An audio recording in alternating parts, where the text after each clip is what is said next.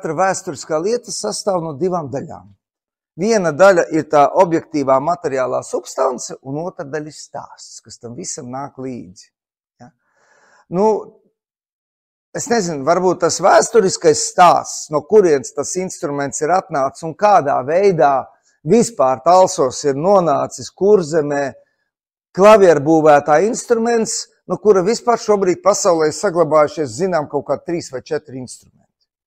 Un viens no viņiem tagad ir tālsos, pēkšņi izrādās. Tā kā, tā kā tagad, teiksim, tā ir par, par vienu ceturto daļu vairāk pasaulē zinām viņa instrumenti. Ja?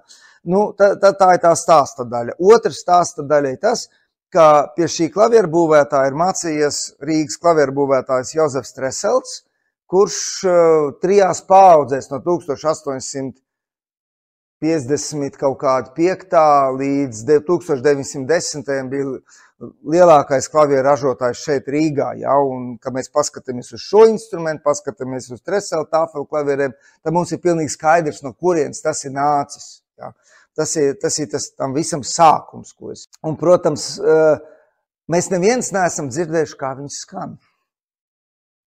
Tā kā mums atliek, atliek tikai eh, cerēt, ka, ka mm, arī tā skaņa un tas skanējums un tās muzikālās iespējas nu, attaisnos to, ko mēs no tā sagaidām. Jo, protams, spriežot pēc rezonātora, spriežot pēc stīgām, pēc tā visa izvietojuma, nu, kaut ko mēs tur varam spriest.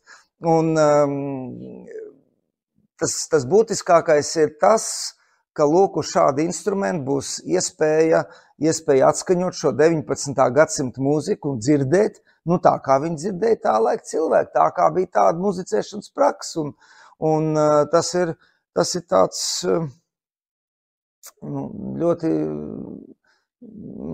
liels ieguvums uh, ne jau tikai muzejam, bet, bet arī muzeķiem, kas uz, uz tām gribēs mācīties ja? un, un saprast. Jo šodien, ja, protams, koncerta zālēs tur Šuberts spēlē uz modernu Steinbeck līģeļu. Ja?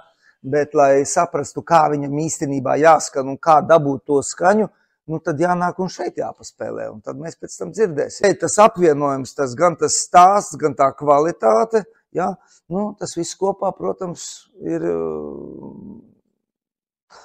būtiski tam, lai tas instruments tiktu, tiktu restaurēts. Ja.